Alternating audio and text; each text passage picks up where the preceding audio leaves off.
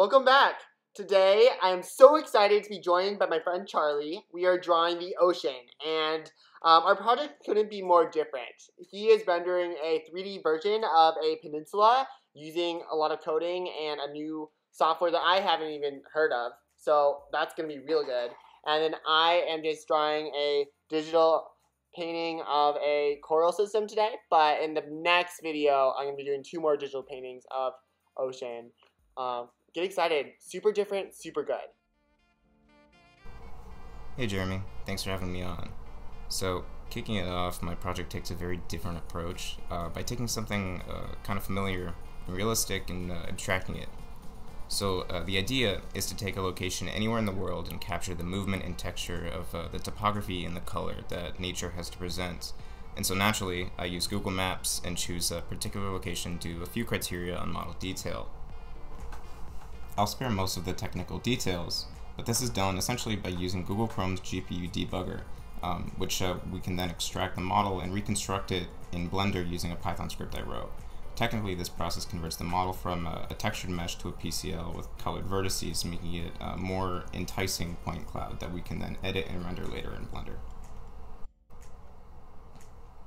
So uh, this use of focus color is enough to capture the form of the island and let the of complete the rest. Additionally, the point cloud adds texture um, by delivery of color, using it kind of as a mode of uh, communicating the image to the viewer a little bit more. Um, some things that I kind of noticed while I was uh, rendering this uh, final thumbnail is uh, I, I, wanted to have more frequency of nodes uh, inside of the ocean to kind of capture the color depth of the water just a little bit better. I don't want to leave everything up to the eye. The whole process of 3D modeling is a little bit new to me, and uh, so when I actually rendered these thumbnails, it, it, took quite a few iterations to really get it right.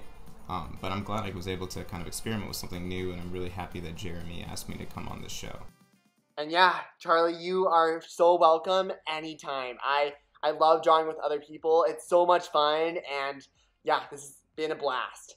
Anyways, um, so what I'm doing right now, I'm just seeing and testing things that look white, structures that look white, and uh, identifying with the eyedropper tool if they really are. And because my background is set to the purest white on Procreate, uh, the colors that I swatch onto the canvas would just disappear if they were true white. And as we see, that's not the case.